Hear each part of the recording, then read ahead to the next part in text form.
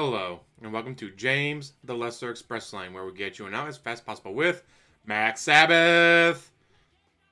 I would do a react, but I already saw them live. I saw them live while I was on in Nashville, and they were awesome, so I'm trying to promote them. Right now, I'm listening to Pair of Buns. But uh, I also have a link to the Ozzy meets Mac Sabbath down below. Check them out. They're very entertaining.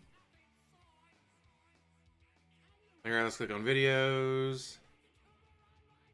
Ronald Osbourne, All Clown, One Meter Fun Run. but they don't just do music that's not based on Black Sabbath. They have some stuff that's different.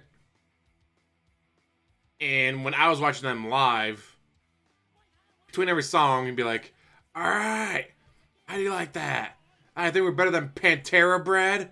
Uh, of course we are, especially since we're better than Oreo Speedwagon.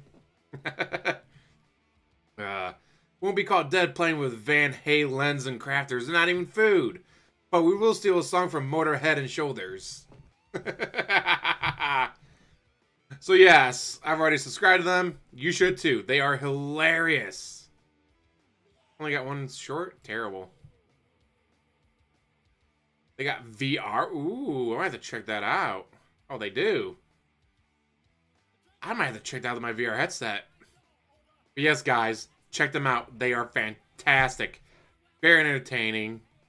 And again, I'm going to have the link to the Ozzy Osbourne meets Mac Sabbath down below. During the interview, uh, they play uh, I Am Frying Pan instead of Iron Man. Terrible.